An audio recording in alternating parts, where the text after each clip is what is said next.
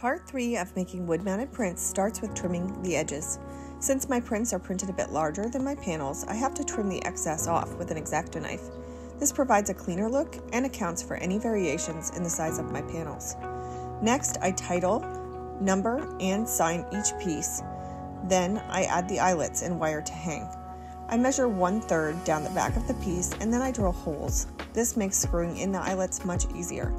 We also have this hook tool by Husky that saves my fingers and makes screwing in hundreds of eyelets much quicker. The picture wire that I use is number 3 Super Soft Strand. It is a plastic coated stainless steel wire that can hold up to 20 pounds. The last step is packaging. I use clear, self sealing bags that need to be one inch bigger than the size of my wood panel so that they account for the width of the frame. At this point, my print is done and ready for sale. Please make sure you subscribe and ring the bell to be notified for any new videos.